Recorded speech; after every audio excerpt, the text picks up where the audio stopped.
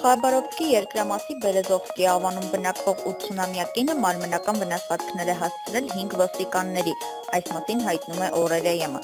Սոշակառու կինը մեղադրվում է մարդասպանության մեջ։ Ըստ տեղեկատվության նա դաժանաբար սպանել է իր տանը սենյակ վարձակալած տղամարդուն։